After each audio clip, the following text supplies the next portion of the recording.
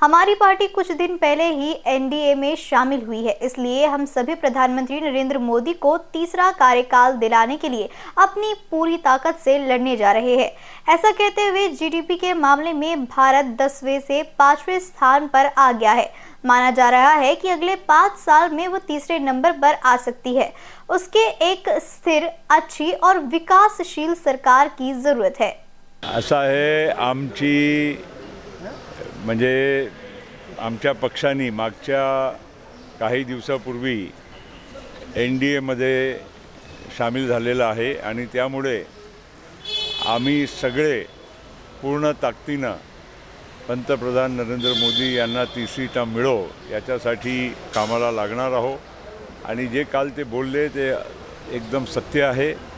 कारण मागील पाच वर्षामध्ये भारत दहावा क्रमांकावरनं पाचव्या क्रमांकावर दे स जगातमध्ये आलेला आहे.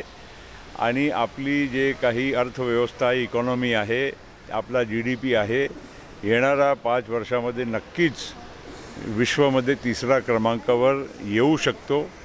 आणि त्याच्यासाठी एक स्थिर आणि चांगलं आणि विकासशील सरकारची गरज आहे.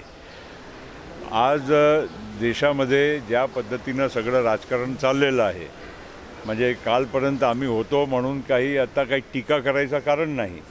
पण जे काही आज आपल्याला दिसत आहे वेगवेगळे पक्ष वेगवेगळी विचारधारा आणि एवढे सारे लोकांना एकत्रित आणणं आणि एक संघ आणून देशाला एक चांगला विकल्प देणं ही काही सोपी गोष्ट नाही आहे. देशाने अनेक वेळा असे प्रसंग अनुभवलेले आहे आणि त्यामध्ये अठ्ठ्या अठ्ठ्या सत्याहत्तर असो परत एकोणनव्वद असो शहाण्णव असो अशा अनेक जे प्रसंग आले त्यावेळीस देशामध्ये अस्थिरताचा वातावरण निर्माण झाला. देशाच्या अर्थव्यवस्थावर देशाचे अनेक चांगले जे कार्यक्रम असतात त्याच्यावर परिणाम झाला.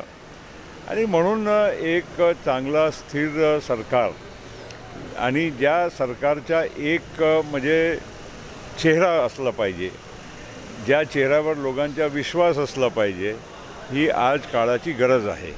आणि म्हणून आम्ही पण जो निर्णय केला अनेक बाबतीचा विचार करून केला.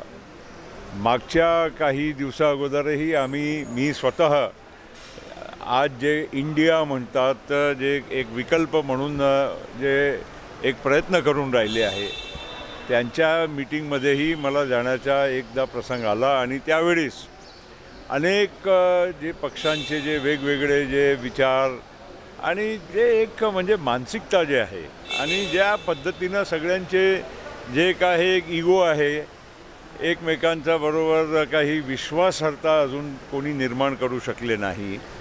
हे देशाला कुठपर्यंत म्हणजे परवडणार आहे हा सुद्धा विचार करण्याची गरज आहे.